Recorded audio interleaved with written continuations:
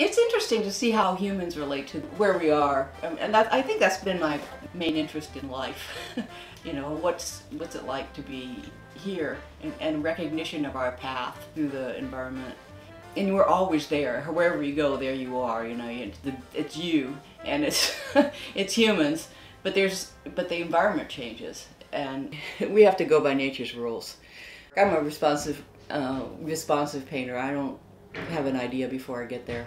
And I trust my instinct of, of what's interesting and what color is exciting and contrast between the sky and the trees. Um, I paint with some people call they call themselves the East Bay land, landscape painters. On a beautiful day in I guess it was January or maybe just February, almost February, painted over by the uh, Berkeley Arts Center, um, and that tree was blooming there over the fence. Everybody wanted to paint that tree. We were all kind of lined up on the street it's a very quirky street. It kind of splits. One side goes up and one side goes down, and uh, there's a really interesting old bridge. And uh, I got I want to go back there, and underneath that bridge there's a whole bunch of graffiti. I want to paint under there. And that's the that other one um, is from the Albany Bulb, and it was so windy. Uh, Albany Bulb was the place where they dumped a lot of construction debris, and it filled up the bay. And uh, then, then things started to spontaneously grow there, and it became almost a, a wildlife. Well, it is a wildlife habitat now. Um, people were camping there. um, this one here is West Berkeley.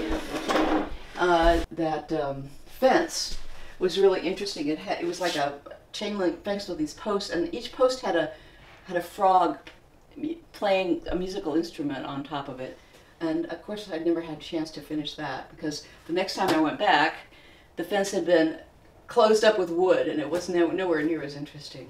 But I did, do like this place. It, the way the cars park in the shade and the, interact with the shadows. If you know your trees, you can tell what trees they are. You know, I mean, this is a, pine, a pine tree, a big one of those Italian pine trees. It's very dark and low. And I guess this is a Douglas fir or a redwood sticking up. This is another same kind of pine tree.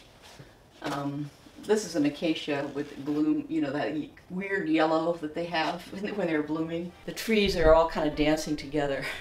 it's like, here we are dancing, we're moving, and we're catching the light.